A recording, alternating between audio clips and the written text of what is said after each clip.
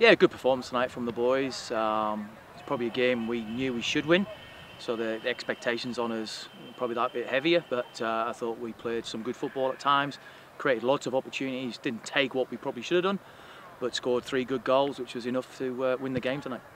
Yeah, you know, local rivals just across the uh, way there at uh, Yandina.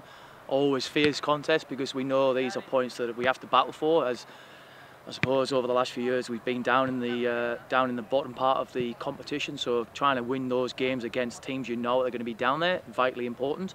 Uh, as a consequence of that, yeah, boys get heated, and you know that's just part of football. And uh, I thought it was a great contest, physical, some good football played by both teams at times, and uh, I think the um, I think Coolum deserved the win, and uh, fortunately we hung on there to uh, to win 3-2 in the end.